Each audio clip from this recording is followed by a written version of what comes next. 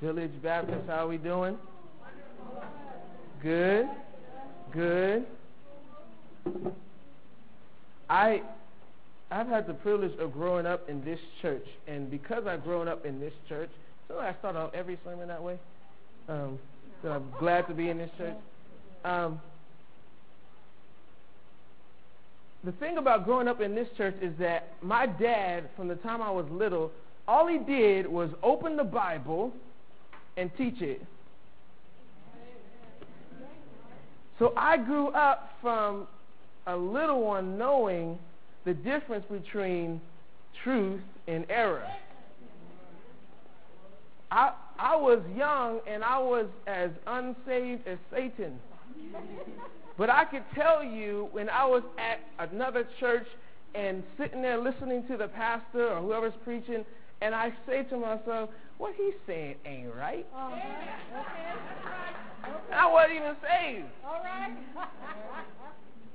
and but I know I wasn't saved. I used to sit in the back of church. Some of y'all might remember. I used to sit in the way back with Jonathan's brother Willie. Y'all remember that? And we and all we used to do is draw Ninja Turtles because I, I was a Ninja Turtle fanatic. And there was times when even one of our own ministers would be up there talking. I'd be there drawing a Ninja Turtle, and I'd be like, "Well, he just said that ain't correct." and when my daddy get back, he gonna get you. I mean, I, I just grew up knowing the difference between what's right and what's wrong as it relates to the scriptures. And so I'm thankful for that. But that just kind of made me skeptical of any teacher. If it wasn't daddy, I was like, you don't know what you're talking about. But as I grew up and started to learn the Bible for myself, I started to get even better at being able to discern truth and discern error. Now, we're in an age, this church age, I think we're in an age of apostasy. If you don't know what that word means, apostasy is when the people of God turn from what they know to be the truth of God and instead turn to a lie. False teaching and false doctrine. And I think we're in an age like that, and a lot of Christians don't know how to discern the difference between what's right and what's wrong. A lot of Christians are turning away from the truth forever passed down to the saints and are now turning to a man made gospel. There was an evangelist who said that God was using him to heal. And so this couple brought their quadriplegic daughter to him, and he looked at her and said, If you have faith, you will be healed. So he prayed for her. And after praying for her, he said she'll be healed the next day. So the next day, she was still a quadriplegic. So they brought her back and say, we don't know what happened. She's not healed. That man looked at that girl and said, the reason you're not healed is because you don't have enough faith.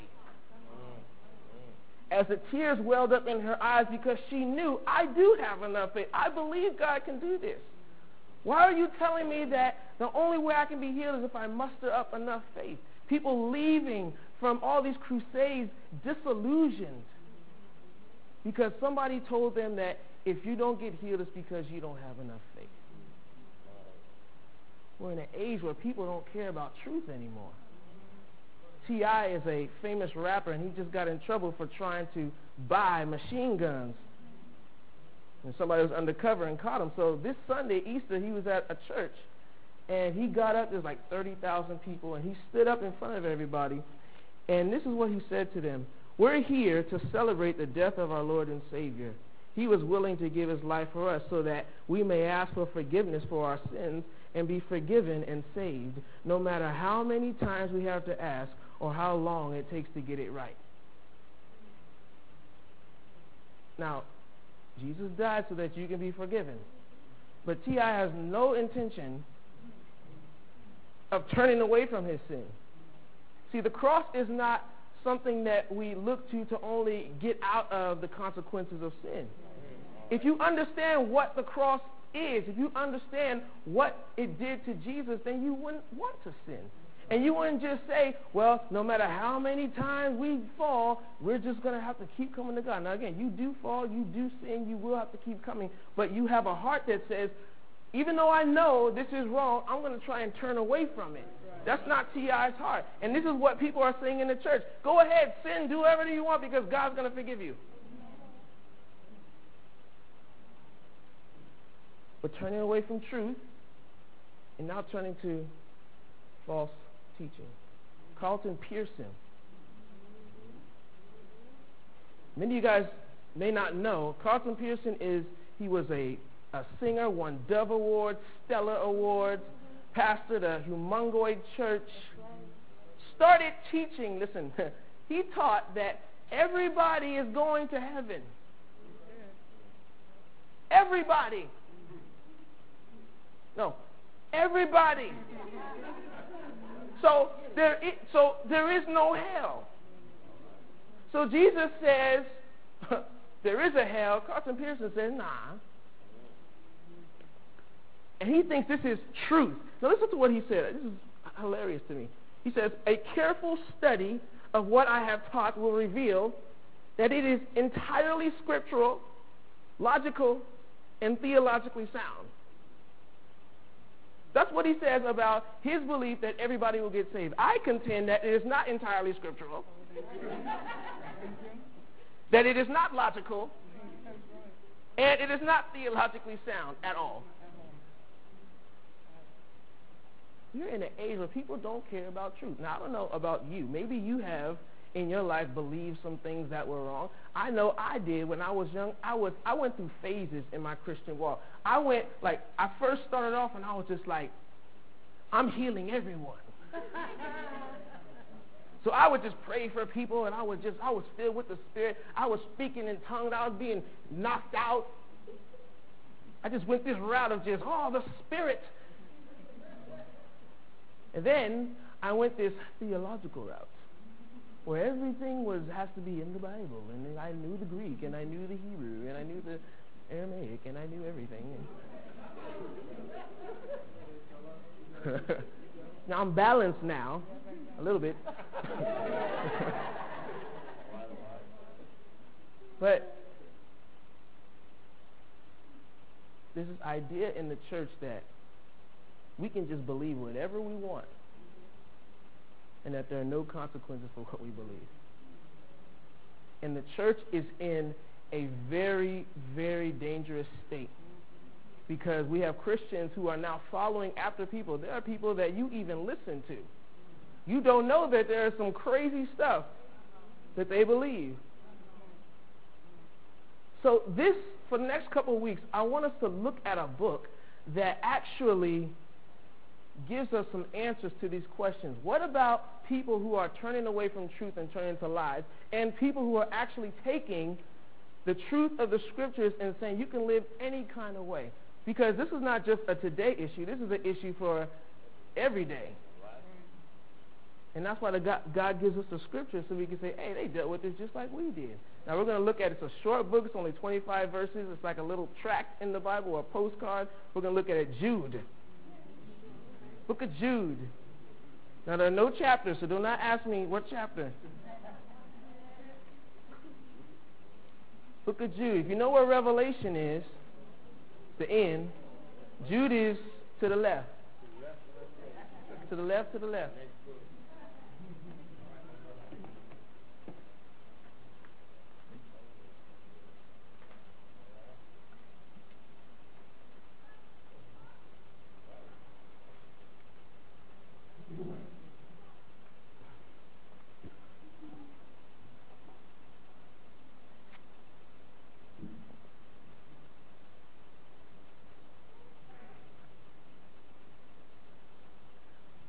Book of Jude, verse 1. You got it? Say yeah. yeah. All right, verse 1. Jude, a servant of Jesus Christ and a brother of James, to those who have been called, who are loved by God the Father and kept by Jesus Christ. Mercy, peace, and love be yours in abundance. That's all we're going to deal with today. Those two verses. So, I want to meet the author of this book. The, the author of this book, his name is Jude. You're very observant. Now, in the Greek, his name is actually Judas. Now, don't panic. It's not Iscariot. In in those days, Judas was a very common name, like John or Sally. Or, very, very common name. So it wasn't it wasn't weird to have a name Judas. Now today we know there's no little Judases running around, at least not in name. All right. So you have Ju- Judases and no Jezebels, nothing like that. But in that day, Judas was a very common name. Now I don't know why the translator decided to say Jude Maybe they said, we can't have a book of the Bible say Judas. So it to Jude. But anyway, Jude introduces himself as a servant of Jesus Christ. Now, something you may not know about Jude is that he was the half brother of Jesus. Now, think about this. You, most of us, if we know somebody who's famous, We'll make sure everybody else knows that we know that they're that we know them, right? It's like with my brother. Anytime anybody mentions college basketball, yeah, you know my uh, my brother, my younger brother that I I you know I had a hand in making him. You know, I mean, what he is I mean, there are people who are having conversations about, yeah, did you see a coin? And I'm sitting in the corner at Panda Express, like, that's my brother they talking about. Maybe I should say, I was like, that's my brother. I mean, I just wanted them to know Joshua Clay is my brother. I used to beat him up. the one you see. I mean, if you know somebody famous, you want people to know can you imagine my brother is Jesus the Christ? You have your brother say, What has your brother done? Well, my brother made the walls around Jerusalem. she was like, huh, My brother made Saturn. and Pluto, ha! What has your brother done? Oh, well, he's in the army. He rides a horse. He's the fastest horse. Ah, my brother made the horse you're riding on. I mean, you can't trump Jesus being your brother. But Jude does not come out and say, Jesus is my brother. What he say is, I am a servant. In fact, it literally means bond servant. Or don't even think like waiter. It's like a slave. A slave to his brother. Now, why would he do that? One, because he's probably just a humble person. See, there are some people who know people who are very, very famous, and they won't say anything. Most of you guys probably wouldn't know that Orrin, in his day, ran against Deion Sanders. You remember prime time? All that dancing won the 49ers a very great championship. Yeah raced him in college and almost beat him. Almost.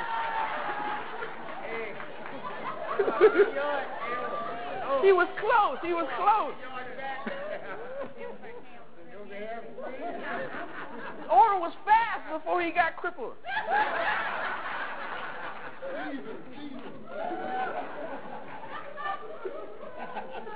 but I would have, I love Deion. He never mentioned that. There's some people who, who can't wait to tell you who they know, who they got hookups with. Yeah, I know him and I know her.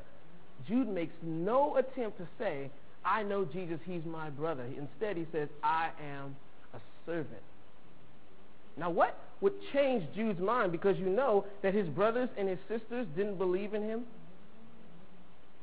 His own brothers and sisters, his own blood said, You don't believe my brother, he's the Son of God. Yeah, whatever. What would change their mind so that they would actually believe he was the Son of God? Only one thing resurrection. We celebrated that last week. They saw the resurrected Christ and they said, He must be the Son of God. So here we have Jude or Judas who says, I'm a servant of Jesus Christ. And for us too. Remember, you are a servant of Jesus Christ. Because sometimes people talk as, and I know, I understand the language, I'm royalty, and, you know, God is, I'm with God, and I'm his child, and all this stuff. And that's true. But you have to remember, you are a servant. You are not worthy to untie one of his flaps on his sandals. A lot of I've seen a lot of Christians who are very arrogant about who they are in Christ. I'm with Christ. I'm seated in heavenly places, trying to move Jesus off the throne. Scoot over.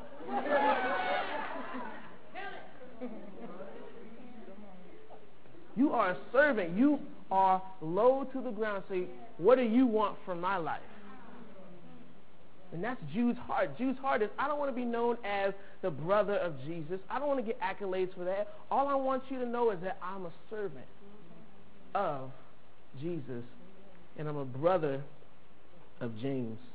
Now, before we get into this, um, this one verse, this is one of the only books in the New Testament that doesn't have a recipient. In, in other words, Ephesians is written to the church at Ephesus. Um, Book of Thessalonians is written to the church at Thessalonica. How do you say that? It's written to a certain group of people, right? This book is not addressed to a certain group of people, but he does say to those, and then he's going to describe them. This book is to everyone, all Christians. And this is what I want us to get. If you don't hear anything else today, hear this. When we read the scriptures, we need to read them as God speaking to us directly. People say, ah, God doesn't speak to me. Do you read your Bible? Nah. That's why.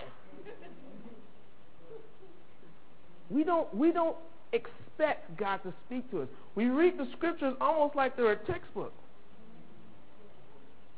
It's not a living love letter to us, to a lot of Christians. It needs to be something we are eager to look to because we know God's going to speak to us. Just like in elementary school, my favorite day of the year was February the 14th. Because keep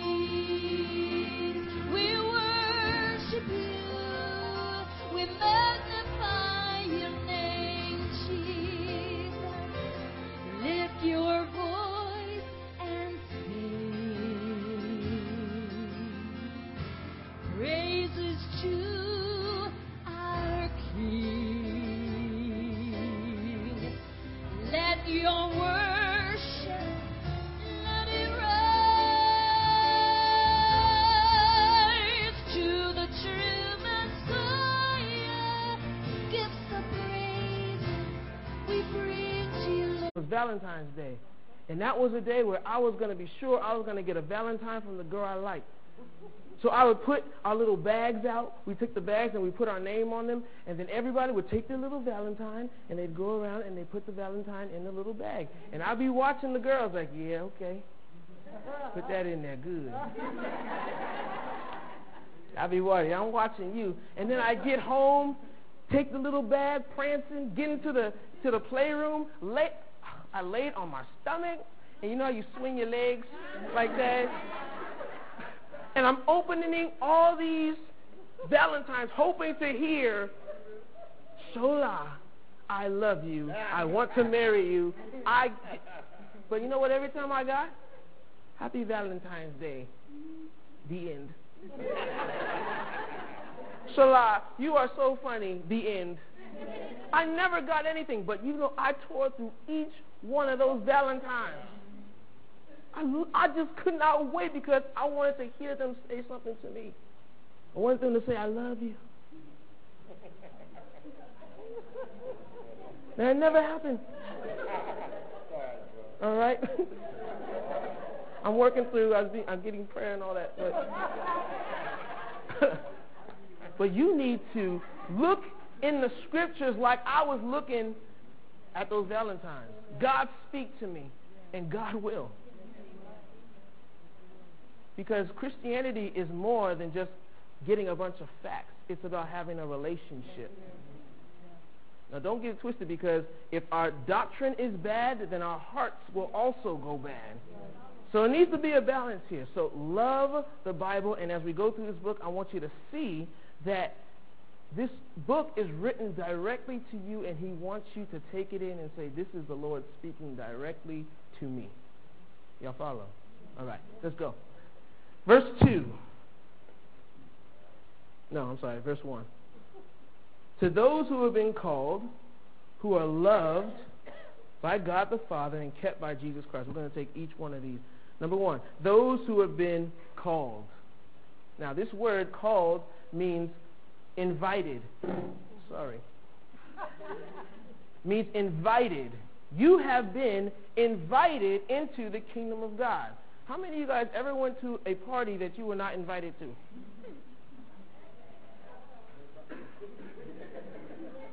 All right? They call it crashing the party, party hopping, whatever. There is one party that you cannot crash, and that is the kingdom of God. You cannot go if you're not invited. But how many people think I'm getting into the kingdom of God? I'll invite myself. If you are not invited, called by God, you will not come. And so Jude says, first of all, to those who are called. Now, let's turn to Romans chapter 8, verse 28. If you're not a fast turner, it'll be on the um, screen for you. Romans chapter 8, verse 28.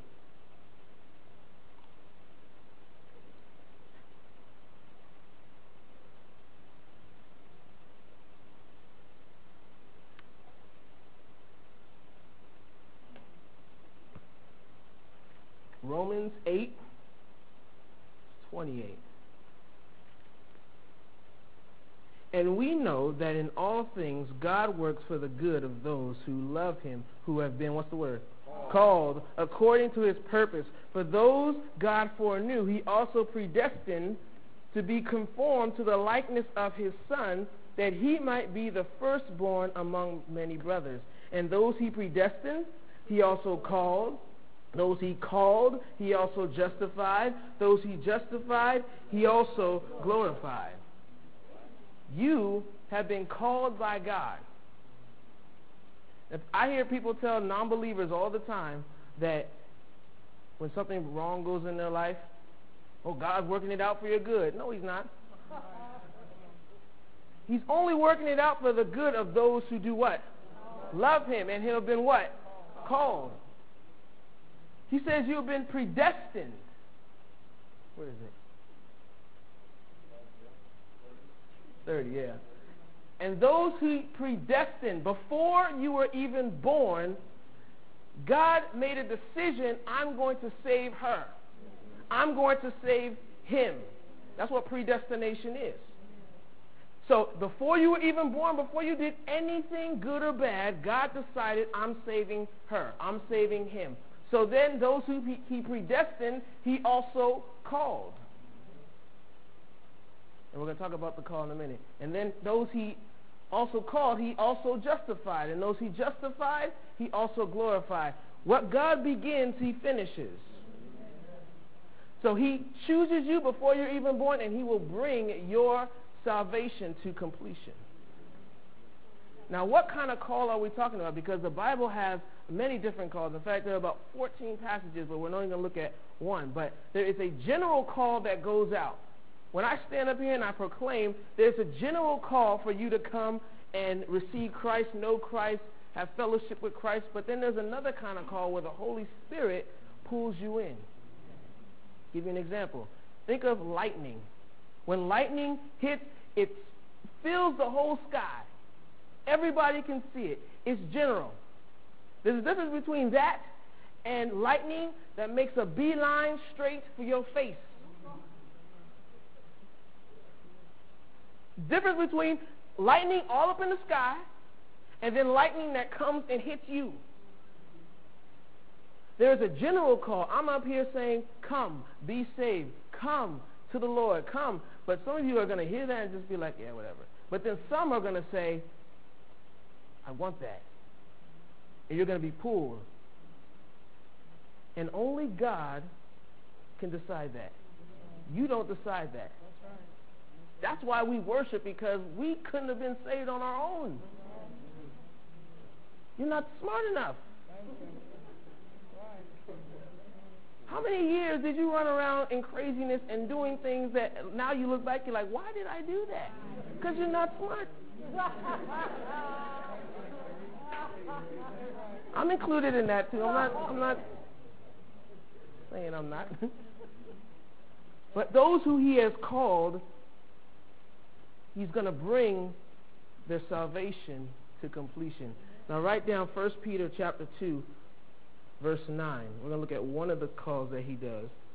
1 Peter chapter two, verse nine. It's very familiar to you. But you are a chosen people, a royal priesthood, a holy nation, a people belonging to God, that you may declare the praises of him who did what? Called you out of darkness into his wonderful light. How wonderful is that? Bible says men love darkness. We love darkness. Like roaches. We just love to be in the dark. Because nobody can see what we do. At least we think that. But what does Christ do? He pulls us out of the darkness and places us into his wonderful light. And you don't decide that. So Jude writes to us and he says, I'm writing to those people who have been called. God reaches down and he touches your heart in such a way that you can't do anything but believe. And this is a past action. This is something that happened in the past. You were called in the past. Now let us look at the next word here. To those who have been called, and then who are loved by God the Father. Love is something that we talk a lot about. You say, God loves everybody. God loves the world, for God so loved the world. And there is truth in that. But I believe that the Lord loves his people in a special way. Differently than the way he loves the world. Now, he does love the people of the world because he allows them to breathe, he allows them to eat, to experience flavor. Everything that he created, he allows them to partake in. But for those of you guys who are married, you guys love all women, but you love your wife in a specific and special way. All of you have children, well, not all of you, a lot of you have children, and you love your children in a specific way, in a special way. And I think when God looks at us, He loves us, His people. In fact, the Bible says we are the bride of Christ. And so when He looks at us, I don't believe He looks at us the same way He looks at someone who's in hell. That His love is special toward us. And He says, You're loved by God the Father. John 14, verse 23. John 14, Verse 23 says, Jesus replied, If anyone loves me, he will obey my teaching. My Father will love him, and we will come to him and make our home with him. I love that. Jesus, the Father, and the Holy Spirit all come to hang out with you. That's a privilege that people in, in the Old Testament did not have. He loves us. Turn to Romans chapter 8, verse 38, if you're fast. If you're not, just look up on the screen. Romans 8, 38.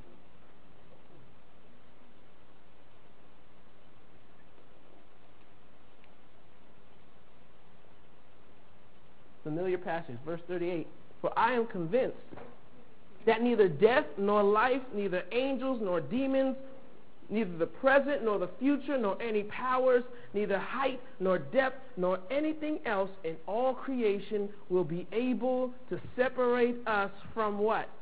The love of God that is in Christ Jesus our Lord. Nothing can separate you from the love of God. And He loves you. And we don't need to, you know, when we hear about love, we say, oh, yeah, God loves me. Sometimes we need to think, God loves me, which means He takes interest in me.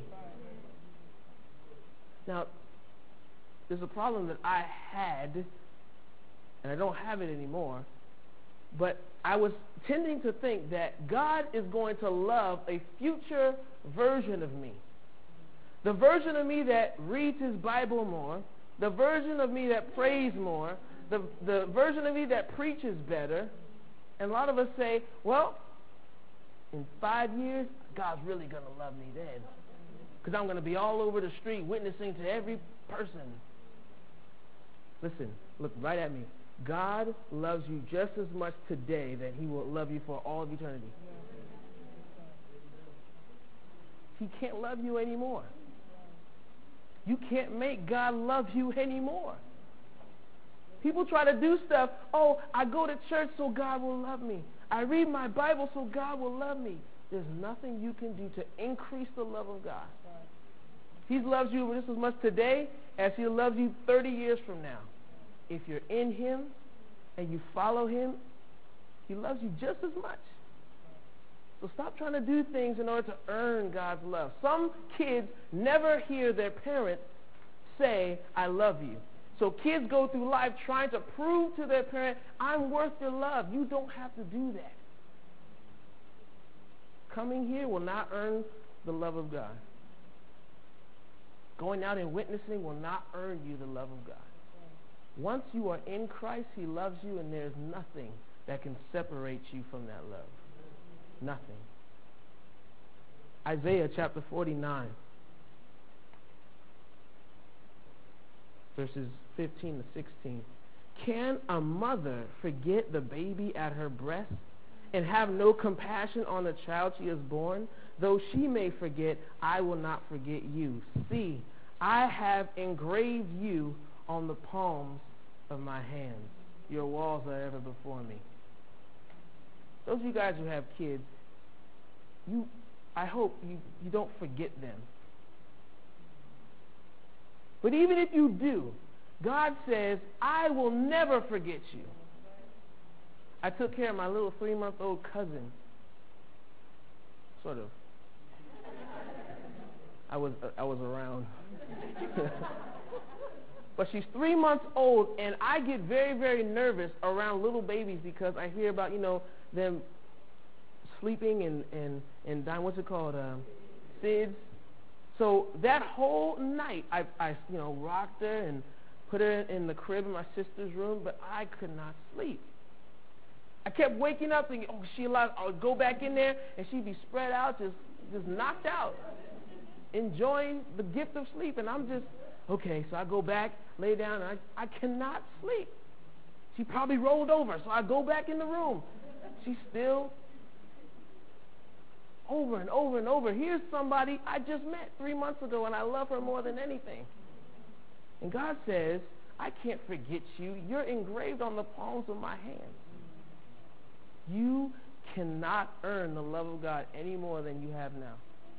God loves you, and I'm hammering this because I want us to get this because a lot of people walk around and they say, I don't know if God loves me because I've messed up. You ever come to church and you can't worship because you know what you did last night?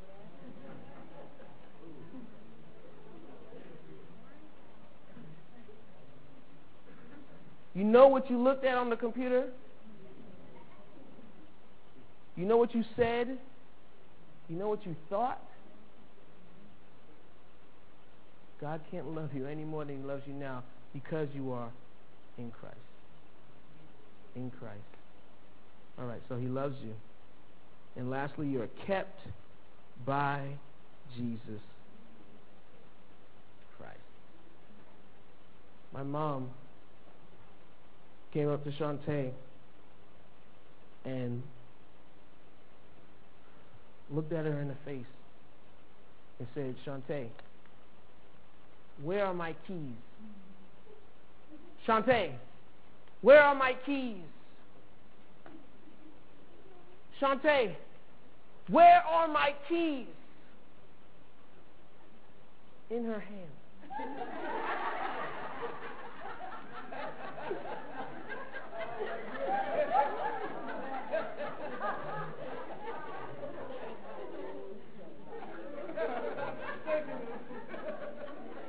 Where are my keys? You ever heard, you somebody looking for their glasses?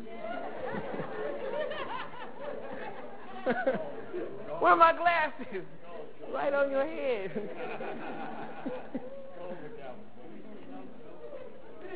we we lose stuff. We can't find stuff. We're absent-minded. Jesus will never lose you. Jesus never like, man, where are my kids? Where's my child? I'm You can't slip through his finger. Turn to John chapter 10. John chapter 10. I want you to see what Jesus says. John chapter 10, verse 28.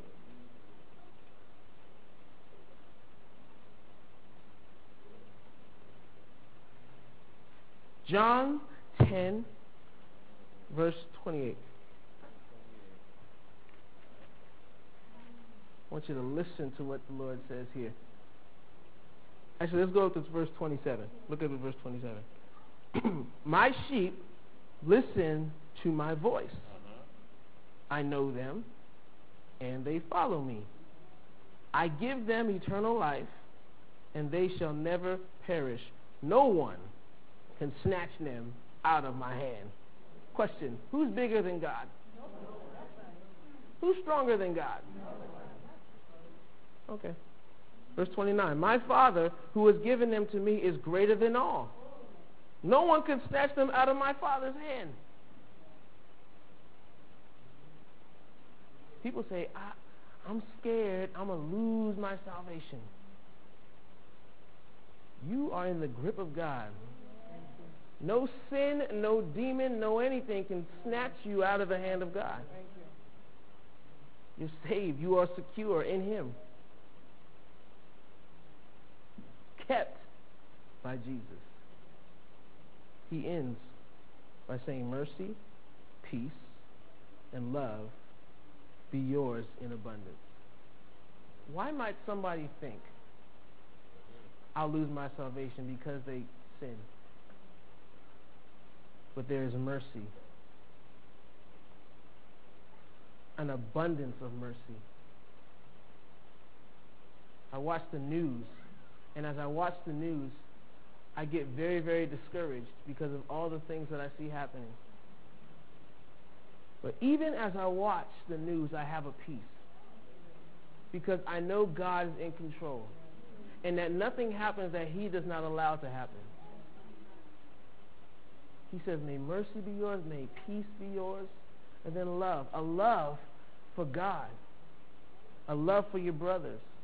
Now, again, this book of Jude is going to address people who are turned away from the truth and instead turn to a lie. That's what the book is going to address. But Jude wants to start off and say, I want you to know, before we even get into all of that, that you are God's. Salvation is yours, and you are secure. And so today we can rejoice in that. So as we look at this book, we're gonna we're gonna dive in and see how do we combat these things? How do we look at people who say you can live any way you want, God will forgive you? How do we combat the idea that people can look at the scriptures and say that's not what it says and do something totally opposite? So that's next week. Let's pray.